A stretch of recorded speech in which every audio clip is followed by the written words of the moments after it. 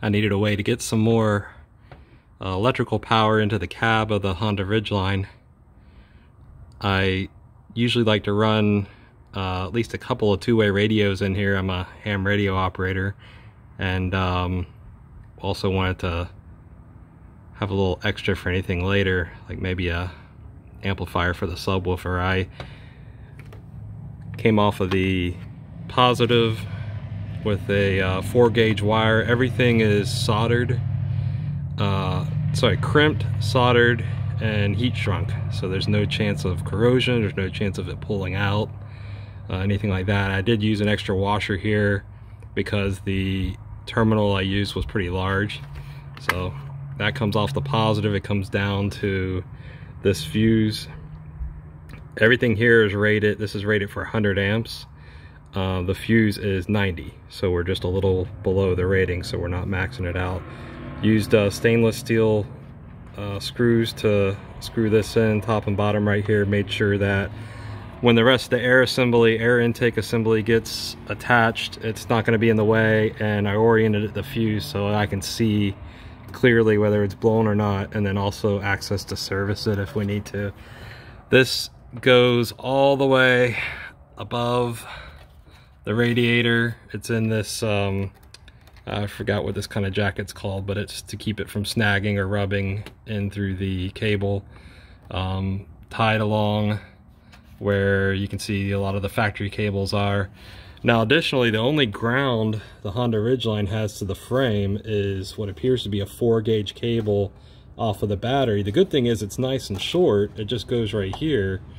But that's literally the only ground to the frame and the battery is is this. So if this comes loose, gets corroded, um, you know, I don't think it would ever get severed, but you really have all your eggs in one basket here. And I'm using a four gauge cable just to pull my accessory stuff, not including all the stuff the trucks needs to run from the factory. So I ran an extra ground alongside of this positive cable. That you can see the red through the the uh, jacketing, the extra jacketing here, all the way to the other side of the truck. Zip tied and more zip tied along the way. And that ground ends up down here. So they had a ground from the frame to what looks like the top of one of the engine mounts. Uh, again, four gauge cable the whole way. Everything's uh, soldered after it gets crimped and uh, the positive cable goes all the way around the back. It's hard to see.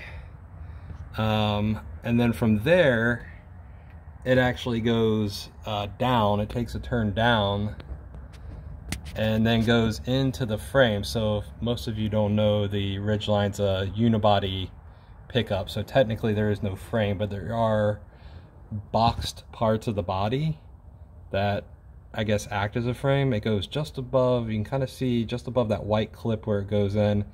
And then underneath the truck, it goes in the same spot where the uh, running board lights do. So inside the truck now, we can see this is the grommet uh, that we're sharing for the running board lights.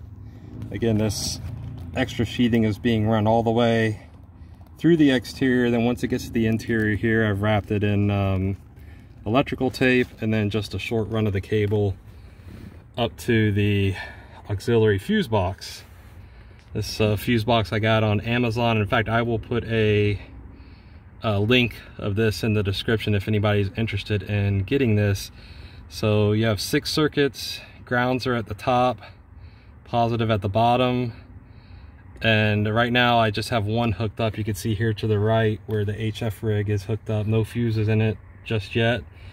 The box is made to do 100 amps per box maximum or 30 amps per circuit maximum. So obviously you can't run four 30 amp circuits, but in my case, I'd have to key up two radios and have the stereo blaring all at one time to come even close to um, 100 amps. So I like having room to spare and this is in my mind, the most proper, legitimate way to get extra power into the vehicle efficiently, safely, and with uh, room to grow.